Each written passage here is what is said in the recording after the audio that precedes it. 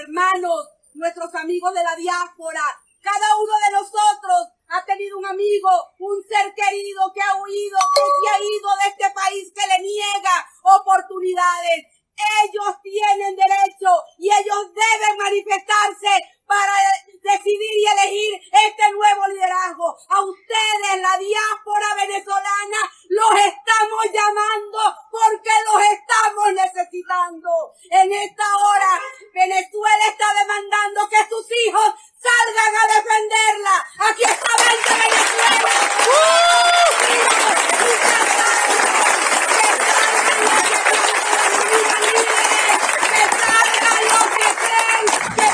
conducir este país, que vengan los autonombrados, vamos a decidir, vamos a dejar que el ciudadano venezolano dentro y fuera del país conduce a la libertad.